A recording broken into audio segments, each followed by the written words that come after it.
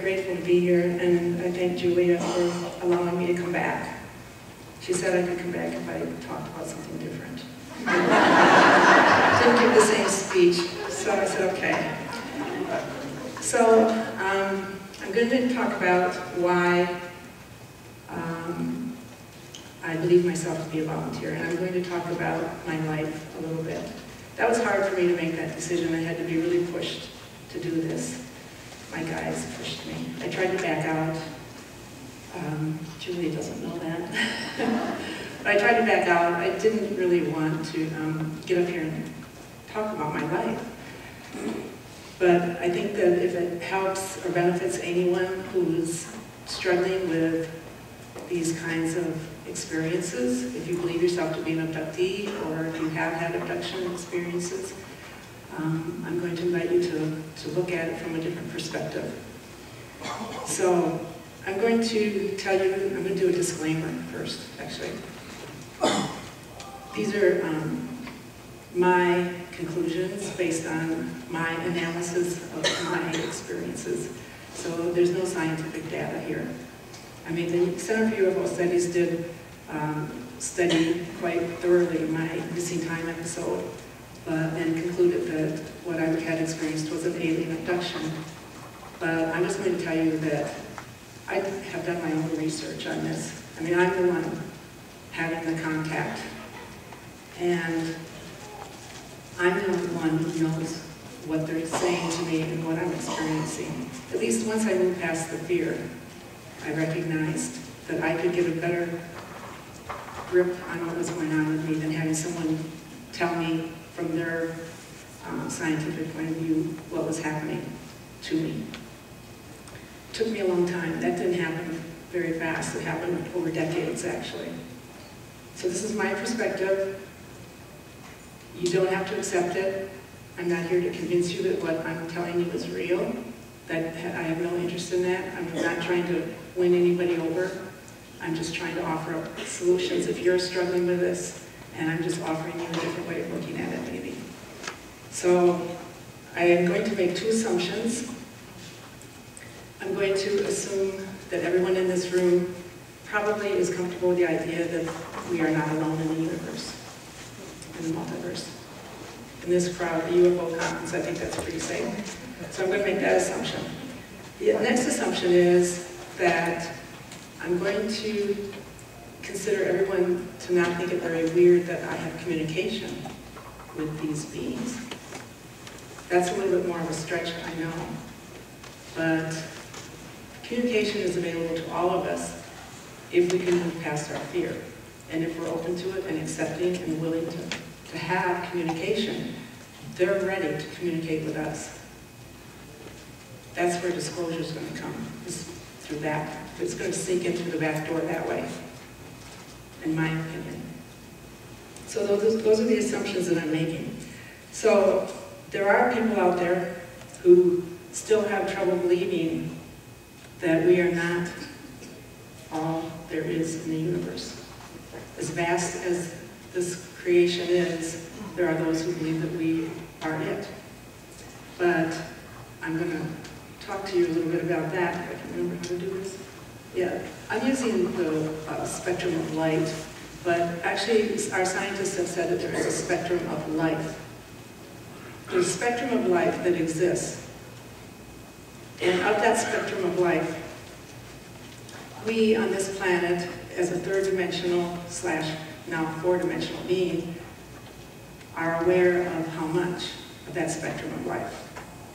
With our limited five senses, we are aware of less than 1% of the life that exists. So that means 99% of life that is going on around us, we're not aware of. So right now in this room, we all have our angels and our guides with us. I have my ETs with me, I have my guide George. If you're psychic at all, you can see George standing back here behind me. After, the, after I speak like this, I always get people coming up freaked out because they saw little ETs running around with me and, and my guy standing back here. So there's life. We're multidimensional beings and there are worlds within worlds. We are energy. our world is holographic. And that's the truth of it. So it's not that hard to understand then that we can have these experiences if we can just access a little higher frequency. You want to go higher, you don't want to go lower. You want to go to a higher frequency. So the alien abduction phenomenon is a strange, it's a strange subject.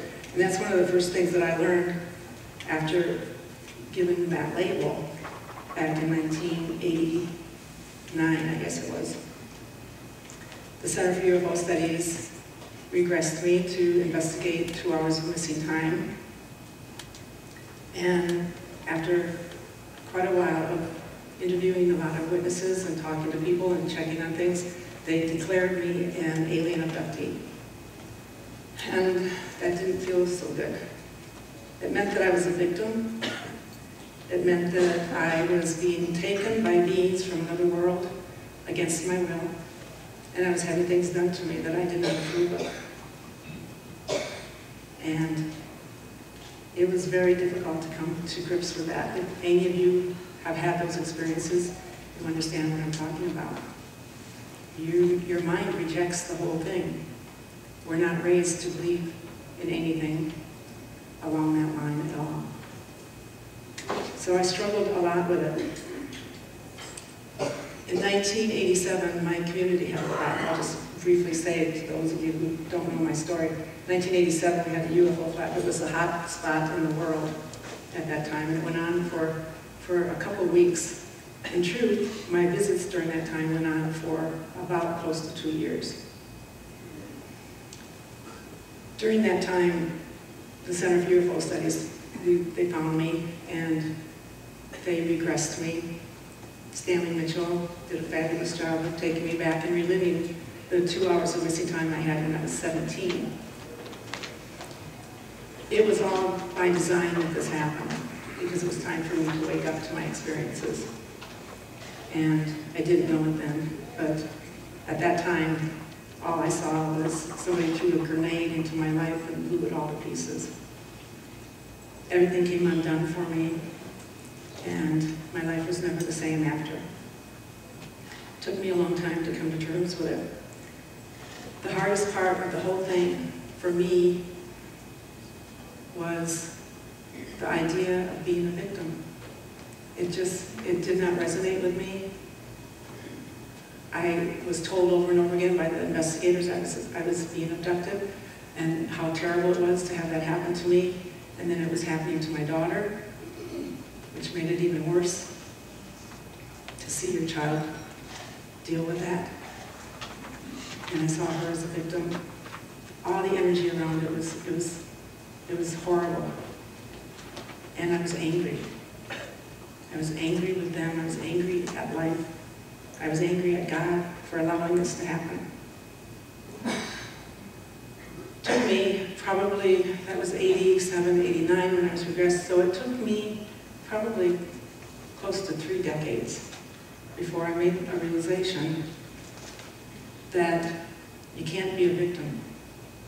In honesty, we can't be victims. You can't be a perpetrator if there's not a victim. It's the same energy. So that was an eye-opening revelation for me to realize that because it took the sting out of it and it changed the whole perspective of what I was experiencing.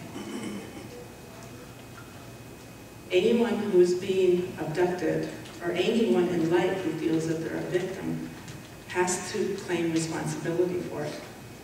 Because the truth of it is, is that we are energy that's our true nature. We are energy.